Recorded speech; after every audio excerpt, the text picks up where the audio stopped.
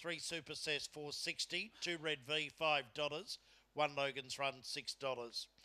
Both the four Mako Mac and eight Zenyatta Miss, inspected by the vet when taken out of the kennel, pass fit to run. Green light for the last.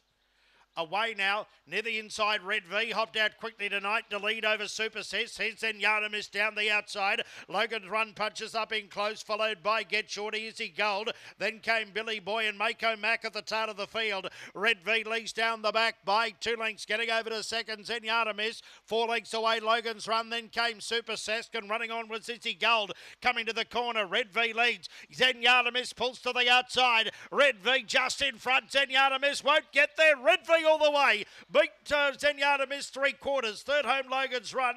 Then came Izzy Gold, Super Cess, break to Billy Boy, Mako Mac, and last in was Get Shorty in around 30 and 30.